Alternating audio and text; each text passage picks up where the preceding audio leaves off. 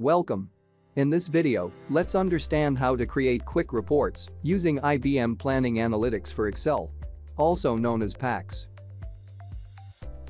Select the cube view from task pane. Right-click on the view, go to Quick Report option and click on this sheet. You can see that the quick report is generated on the sheet. A quick report shows data in rows and columns. A context area above the quick report shows the context members.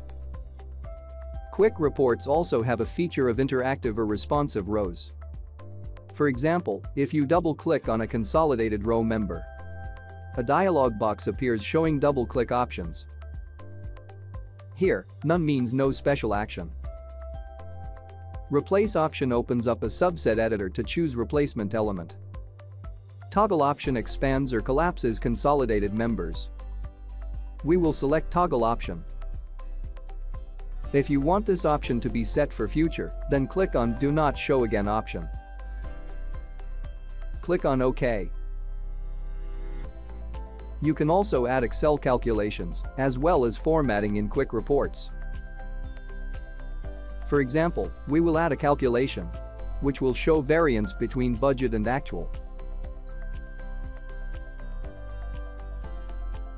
Drag variance formula to the new quick report.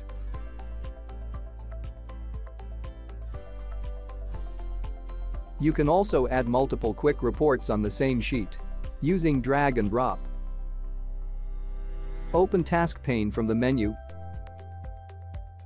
Click and hold the cube view and drag it on the required cell. Let's quickly add couple more quick reports on the sheet.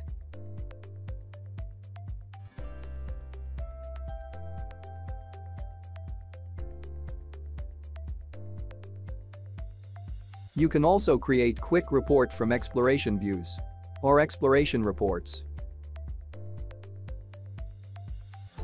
Let's generate an exploration report on the new sheet.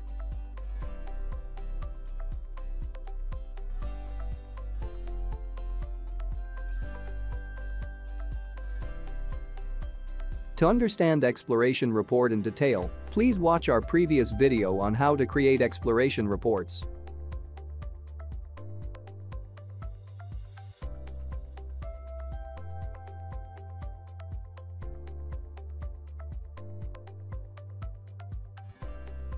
To create the desired exploration report, go to IBM Planning Analytics ribbon.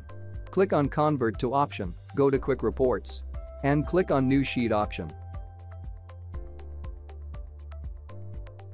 The quick report is generated on the new sheet with the help of Exploration Report. That's it for now. To know more about IBM service offerings, visit our website and contact us on email. Thank you for watching this video.